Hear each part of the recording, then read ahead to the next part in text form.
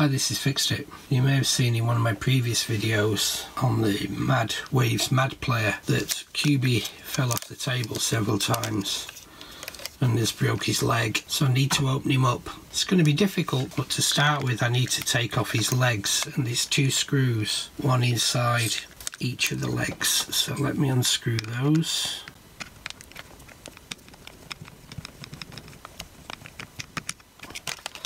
Okay, one leg off. Make sure the screw's safely out of the way.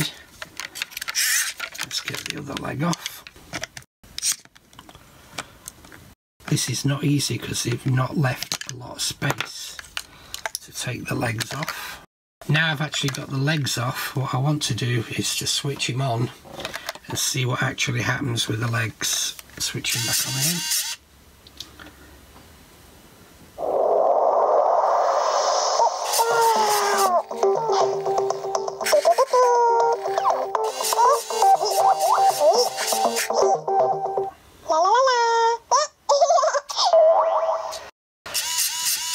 So this leg is just not working at all.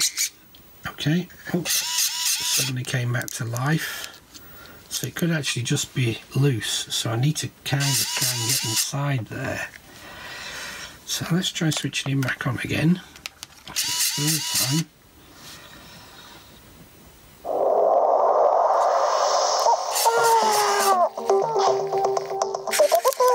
Yeah, okay, so there's something there. Can hear it grinding. Okay.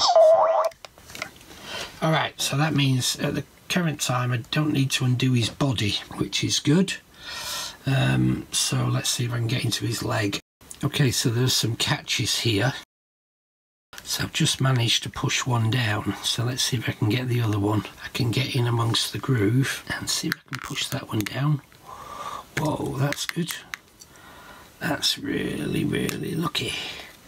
Okay, turn it over. See if I can follow that round and do the same again. So on the edge, come round, push down. And last one.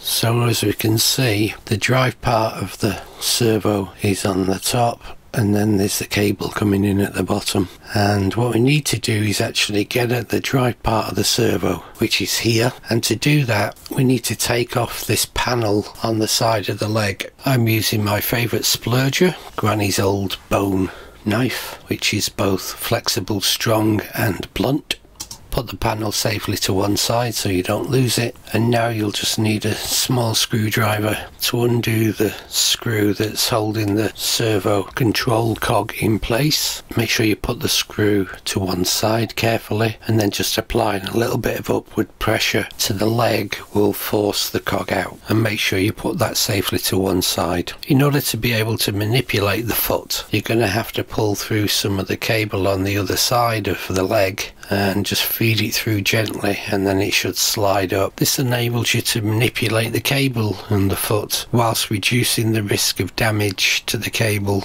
the servo itself is quite a tight fit, but with a little bit of manipulation you should be able to lift it out. In part 2 we'll be checking out the servo and we'll be looking at replacing it or replacing some of the components in it. I hope you liked the video. Please subscribe to the channel so you'll be informed when part 2 is available.